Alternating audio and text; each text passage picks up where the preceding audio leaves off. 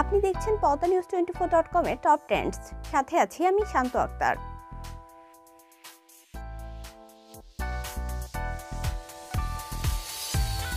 অনন্ত জলিল বড় পর্দার এ সময়ের ক্রেজ আসছে ঈদে সিনেমা হলে আসছে কিল হিমস ছবিটি নিয়ে। এই সিনেমার বিষয়ে জানতে চাইলে অনন্ত জলিল বলেন, বলতে পারেন অনেক ব্যস্ত। একদিকে সিনেমা, অন্যদিকে ব্যবসার কাজে সময় দিতে হচ্ছে। মানে কাজ আর কাজ নিয়ে বরাবরের মতোই এখনও আমি মহাব্যস্ত।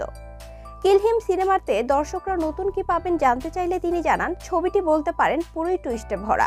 ছবির সব চরিত্রই মূলত ভিলেন। এমনকি আমি আর বর্ষা দুজনেও ভিলেন। বর্ষা আমাকে ভিলেনে পরিণত করে। নিজের প্রযোজনার বাইরে গিয়ে এবারে প্রথম কোনো চলচ্চিত্রে অভিনয় করছেন অনন্ত জলিল।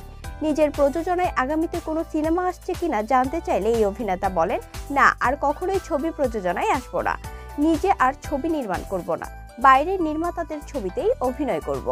প্রযোজনা থেকে সরে আসার কারণ জানতে চাইলে অনন্ত বলেন, আমি আসলে চলচ্চিত্র শিল্পকে কিছু দিতে চাই। বাইরের প্রোডাকশন হাউসগুলো আমাকে নিয়ে অনেক আগে থেকেই কাজ করার আগ্রহ দেখিয়ে আসছিল, কিন্তু তখন না করেছি। এখন দেখছি আমি যদি বাইরের ছবিতে কাজ করি তাহলে চলচ্চিত্রের সঙ্গে যুক্ত সবার উপকার হবে। দর্শক আমার ছবি দেখতে চায় বলে বছরে যদি বাইরের চারটি ছবিতেও কাজ করি তাহলে চলচ্চিত্রের সবার রুটি রুজির পথ সুগম করবে। আগামী ঈদে নিজের প্রযোজনা হাউজের বাইরে গিয়ে প্রথমবারের মতো কোনো সিনেমায় অভিনয় করতে যাচ্ছেন অনন্ত বর্ষা জুটি। সিনেমাটি কতটা ভালো হবে তা জানার আগ্রহে নেটিজেনরা। Padma news twenty four dot কমের নিয়মিত আপডেট ভিডিও পেতে আমাদের ইউটিউব চ্যানেলটি সাবস্ক্রাইব করে বেল আইকনটি ক্লিক করে রাখুন। ফেসবুকে আমাদের ফলো করুন Facebook dot com slash Padma news twenty four.